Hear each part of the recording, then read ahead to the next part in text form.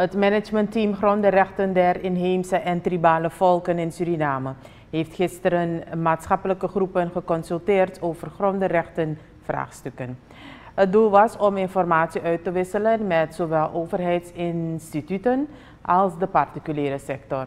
De conceptwet over grondenrechten zal ultimo september 2019 worden ingediend bij het parlement.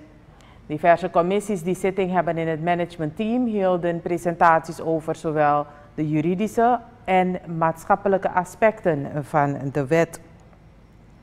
Een van de commissievoorzitters, Max Ooft, ging in op de voorbereidingen van het managementteam.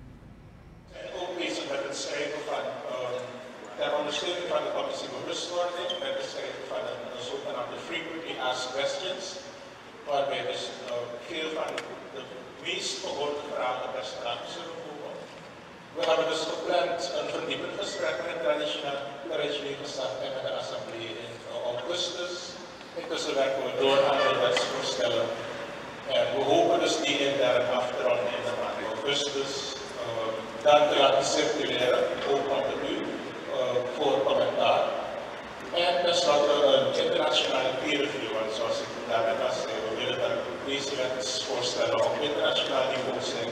En dat ze dus consistent zijn met het internationale recht. En daarvoor willen we dus ook de uh, internationale deskundigen vragen. Voorzitter van de commissie Bewustwording, Louis Alfaisi, zegt dat de, dat de consultaties belangrijk zijn om de conceptwet brede draagvlak te geven. Hij gaat in op de consultaties die tot nu toe zijn gehouden. We zeggen vaker, we zijn er bijna.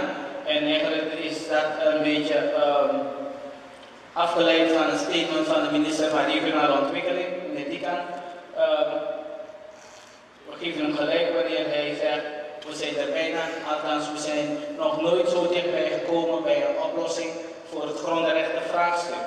Uh, een van de bijzonderheden in dit traject is het heel dichtbij betrekken van de inheemse en de tribale volken, zodat omdat, uh, de regering wil voorkomen dat aan het eind van de rit zij geconfronteerd worden met een wetgeving, een samenstelling van regels die zij op dat moment op, uh, op zich opgedrongen krijgen. Zeg maar. Louis Alfaisi, voorzitter van de commissie Bewustwording van het managementteam Grondenrechten der inheemse en tribale volken. Het team heeft gisteren een consultatieronde gehouden met overheidsinstanties en particuliere instituten.